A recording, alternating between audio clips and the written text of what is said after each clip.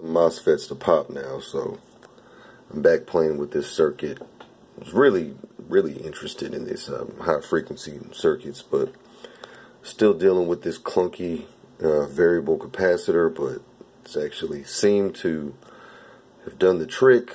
That was my problem before. I would imagine capacitor plates too close together.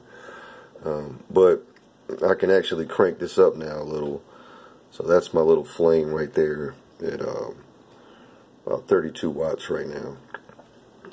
Actually, I'm going to cut this fan on here. So I can crank up the voltage. The way it's set now with this arrangement, the cap can pretty much stay where it's at.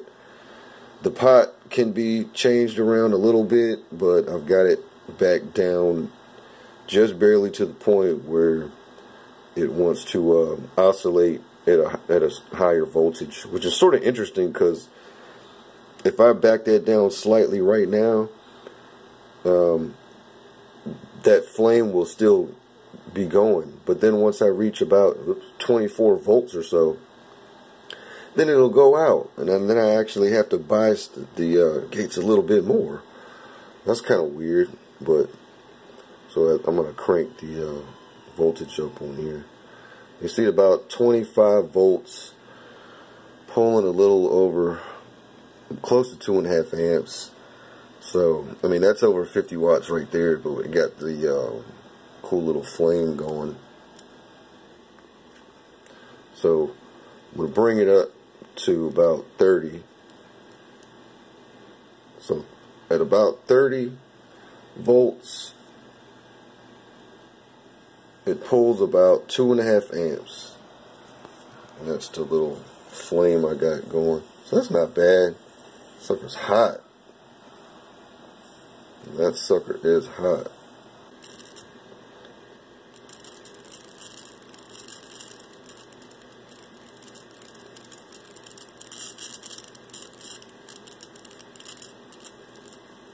Whew, it's hot, but damn, that's starting to stink. Let's burn this resistor. Hey. This wire is gonna uh, get pretty hot. So I can't really run it like that for too long because uh, just because the sheer heat, it's gonna be um, spreading throughout the coil. Well, that's pretty cool. Seems like I can more or less uh, just crank the voltage like that now since that is a fresh battery, I'm going to try cutting the gate up just a little bit. So I nudged the gate voltage up slightly. I'm going to see what happens when I uh, crank the voltage up now. It's about the same. It gets a little bit hotter, pulls a little bit more juice.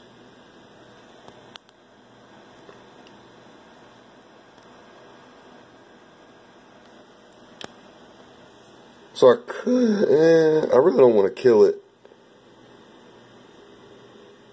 Yeah, cutting the gate up a whole lot more doesn't do a whole lot, but uh, it is going pretty strong now. It's heating up that wire too much. But yeah, this big ass capacitor right here, making everything live. But yeah, that's not bad. Hell yeah.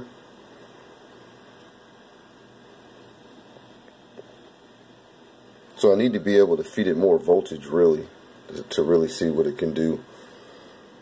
9 volts, nothing. 12 volts. No, oh, and the MOSFET just kicked it. I think that was the MOSFET kicking it. Oh, nope. I don't know what it just did. Oh, it's doing something. Normally that would be the MOSFET going but it didn't. Interesting. Wow. I don't really know what happened there. There's sort of some weirdness. Yeah, I can still crank that, crank it up.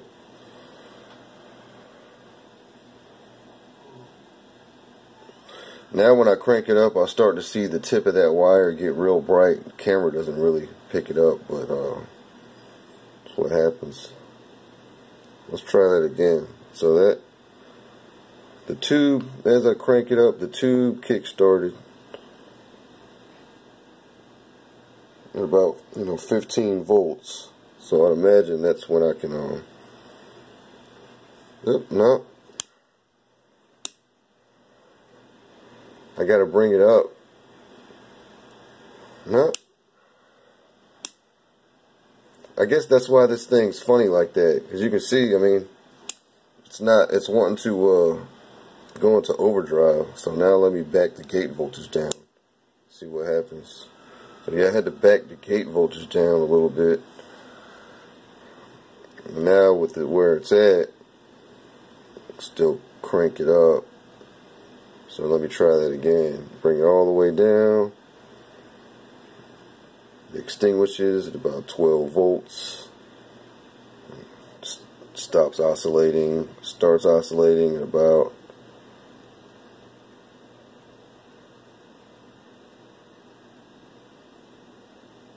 Oh, well, yep, now I need to change the settings again. So now I have to turn the pot up slightly, and now it's going again.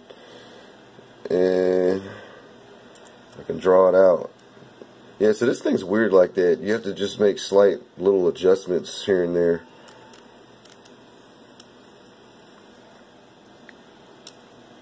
that thing, now it's really, now it's going super hot.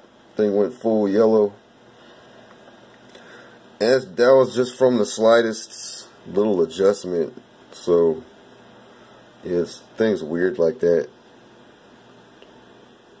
Huh.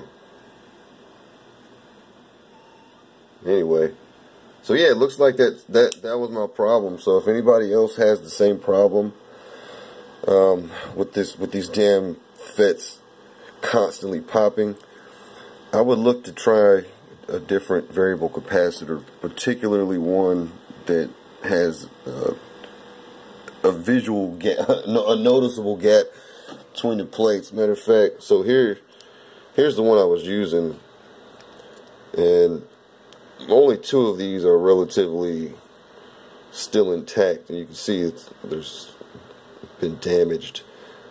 But you can, I mean, it's it's almost it's very difficult to see the gap in between these plates. So you can see this is this is pretty much